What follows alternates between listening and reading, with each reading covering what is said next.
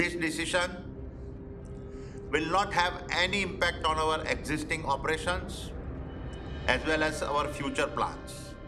Hindenburg research report के खुलासे के बाद से अडानी ग्रुप के शेयरों में गिरावट का दौर लगातार जारी है बुधवार अडानी ग्रुप के शेयरों में करीब 30 फ़ीसदी की गिरावट के बाद कंपनी ने अपना एफपीओ वापस ले लिया है।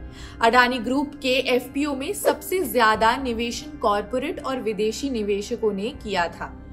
एफपीओ में निवेश के लिए खासा उत्साह भी देखने को मिला था। अडानी एंटरप्राइजेस लिमिटेड के एफपीओ में अपने इशू प्राइस से 1.12 फ़ीसदी तेज़ी देखी गई।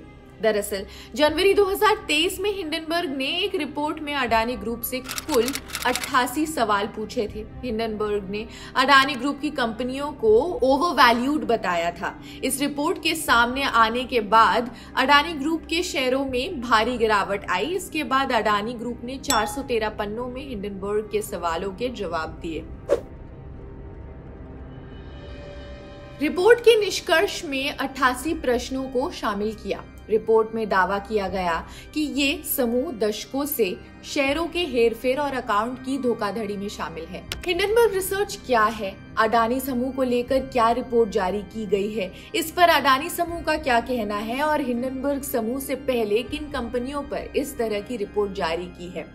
हिंडनबर्ग समूह की विश्वसनीयता पर क्यों सवाल किए जा रहे हैं? हिंडनबर्ग रिसर्च एक वित्तीय शोध करने वाली कंपनी है जो इक्विटी क्रेडिट और डेरिवेटिव मार्केट के आंकड़ों का विश्लेषण करती है। इसकी स्थापना साल 2017 में नाथान एंडरसन ने की है।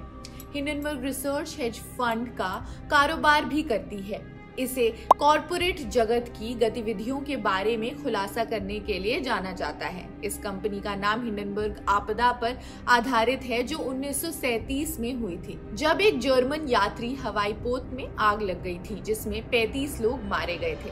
कंपनी ये पता लगाती है कि क्या शेयर मार्केट में कहीं गलत तरीके से पैसों की हेराफेरी तो नहीं हो रही है। क्या कोई कंपनी अकाउंट मिसमैनेजमेंट तो खुद को बड़ा नहीं दिखा रही है? क्या कंपनी अपने फ़ायदे के लिए शेयर मार्केट में गलत तरह से दूसरी कंपनियों के शेयर को बेट लगाकर नुकसान तो नहीं पहुँचा रही है? अडानी एंटरप्राइजेस लिमिटेड का पिछले दिनों एफपीओ लाया गया था। इससे कंपनी ने बीस हज़ार करोड़ रुपए जुटाने का लक्ष्य रखा था।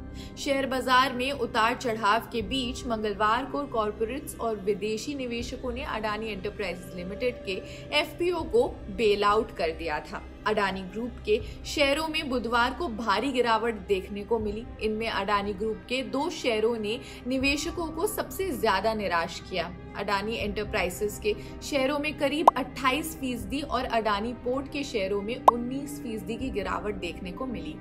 इसके बाद अडानी का खुद का बयान सामने आया। Our board strongly felt that it would not have been morally correct to proceed with the FPO. In my humble journey of over four decades as an entrepreneur,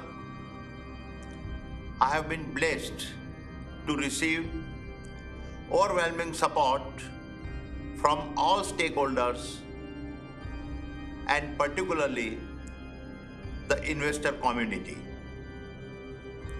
It is important for me to confess that whatever little I have achieved in life is due to the faith and trust reposed by them. This decision will not have any impact on our existing operations as well as our future plans.